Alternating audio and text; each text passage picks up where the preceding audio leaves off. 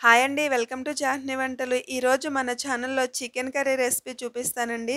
ఈ కర్రీ ఎప్పటిలా కాకుండా ముక్క చాలా సాఫ్ట్‌గా ఉండేటట్లు, గ్రేవీ చక్కగా వచ్చేటట్లు ఎలా తయారు చేసుకోవాలో చూపిస్తాను. ఇది చపాతీ, రైస్, బిర్యానీ దేనిలోకైనా సూపర్‌గా ఉంటుంది. అలాగే తయారు చేసుకోవడం కూడా చాలా ఈజీ. ఈజీగా ఒక హాఫ్ ఎన్ అవర్‌లో తయారు చేసుకోవచ్చు. దానికోసం ముందుగా హాఫ్ కేజీ చికెన్‌ని శుభ్రం చేసి తీసుకోవాలి. దీనిలో ఒక టీ స్పూన్ సాల్ట్ వేసుకోవాలి.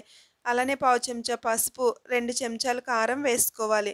ఒక అర చెంచా అల్లం వెల్లుల్లి పేస్ట్ వేసుకోవాలి. వేసుకుని ఈ కారం మొత్తం చికెన్‌కి పట్టేటట్లు బాగా మిక్స్ చేసుకుని ఒక పది నిమిషాలు పక్కన పెట్టుకోవాలి. ఇప్పుడు స్టవ్ మీద వేరే గిన్నె పెట్టుకుని పావు లీటర్ నీళ్ళు మరిగించుకోవాలి. నీళ్ళు ఇలా మరుగుతున్నప్పుడు రెండు టమాటాలు ఘాట్లు పెట్టుకుని వేసుకోవాలి. అలానే 10-15 వరకు జీడిపప్పులు కూడా వేసుకోవాలి. వేసుకుని ఇవి ఒక్క నిమిషం ఉంచి స్టవ్ ఆఫ్ చేసుకొని చల్లారబెట్టుకోవాలి. ఎక్కువసేపు ఉడికించాల్సిన అవసరం లేదండి.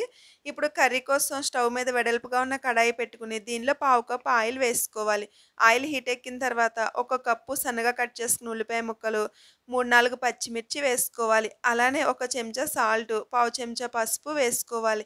సాల్టు, పసుపు ఆల్రెడీ మనం వేసాం కాబట్టి చూసుకుని కొంచెం తగ్గించి వేసుకోవాలి. వేసుకుని ఈ ఉల్లిపాయ ముక్కల్ని బాగా ఎర్రగా అయ్యేదాకా వేయించుకోవాలి. మూత పెట్టుకుని వేయించుకుంటే త్వరగా వేగిపోతాయి. ఈలోపు మనం ముందుగా పక్కన పెట్టుకున్న ఈ టమాటాలు, జీడిపప్పు చల్లారినాయి కదా! ఇప్పుడు టమాటాలు పొట్టు తీసుకుని ఒక మిక్సీ జార్‌లో వేసుకోవాలి. టమాటాలు అలానే జీడిపప్పు కూడా వేసుకోవాలి. వేసుకుని మీకు అవసరమైతే కొద్దిగా వాటర్ చేర్చి మెత్తగా పేస్ట్ లాగా రుబ్బుకోవాలి. ఇలా మెత్తటి పేస్ట్ చేసుకుని ఉంచుకోవాలి. ఈలోపు ఉల్లిపాయలు చూడండి చాలా చక్కగా వేగినాయి కదా! ఇప్పుడు దీనిలో ఒక చెంచా అల్లం వెల్లుల్లి పేస్ట్ వేసుకోవాలి. మనం అల్లం వెల్లుల్లి కూడా చికెన్‌లో వేసాం కాబట్టి చూసుకుని వేసుకోవాలి. అల్లం వెల్లుల్లిలోని పచ్చివాసన పోయిన తర్వాత ముందుగానే మ్యారినేట్ చేసుకున్న చికెన్ వేసుకోవాలి.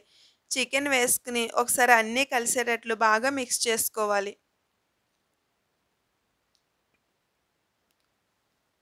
ఇలా బాగా మిక్స్ చేసుకున్న తర్వాత మూత పెట్టుకుని పది నిమిషాలు వేయించుకోవాలి. పది నిమిషాలు వేగేసరికి చికెన్‌లోని వాటర్ మొత్తం బయటకు వచ్చి చక్కగా వేగుతుంది. ఇప్పుడు చికెన్ ఆల్మోస్ట్ 50% వరకు కుక్ అయిపోయింది కదా! ఇప్పుడు మనం ముందుగానే పేస్ట్ చేసుకున్న టమాటా, కాజు పేస్ట్ వేసుకోవాలి.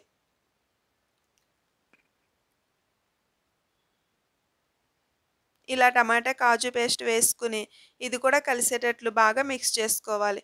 మిక్స్ చేసుకుని మూడు నుంచి నాలుగు నిమిషాలు బాగా వేయించుకోవాలి.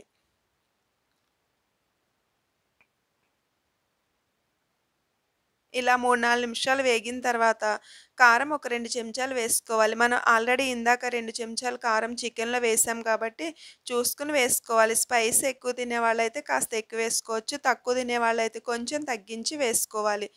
తర్వాత పావు కప్పు నీళ్ళు పోసుకోవాలి. చికెన్ ములిగేటంత వరకు వాటర్ వేసుకోవాలి. పావు కప్పు నుంచి అరకప్పు వరకు వేసుకోవచ్చు. ఇలా నీళ్ళు వేసుకున్న తర్వాత మూత పెట్టుకుని మరొక పది నిమిషాలు ఉడికించుకోవాలి. ఇలా పది నిమిషాలు ఉడికేసరికి ఒక చెంచా కసూరి మేతి వేసుకోవాలి. అలానే ఒక చెంచా ధనియాలు, ఒక చెంచా జీలకర్ర పొడి వేసుకోవాలి. ఒక చెంచా గరం మసాలా కూడా వేసుకోవాలి. ఇప్పుడు ఈ మసాలాలన్నీ కలిసేటట్లు బాగా మిక్స్ చేసుకోవాలి. మసాలా వేసిన తర్వాత ఒక రెండు నిమిషాలు ఉడికించుకుంటే సరిపోతుంది. ఒక నిమిషం ఉడికిన తర్వాత సన్నగా కట్ చేసిన కొత్తిమీర కూడా వేసుకుని ఒక నిమిషం తర్వాత స్టవ్ ఆఫ్ చేసుకోవాలి. అంతే అండి కర్రీ రెడీ అయిపోతుంది. చూసారు కదా! కర్రీ చూడడానికి చాలా బాగుంది టేస్ట్ కూడా అంతే బాగుంటుంది చేసుకోవడం కూడా చాలా ఈజీ. అందరూ తప్పకుండా ట్రై చేయండి. మా వీడియోస్ కనుక నచ్చినట్లయితే తప్పకుండా మా ఛానల్‌ని సబ్స్క్రైబ్ చేయండి. వీడియో నచ్చితే లైక్ చేయండి, షేర్ చేయండి, కామెంట్ చేయండి. And thanks for watching.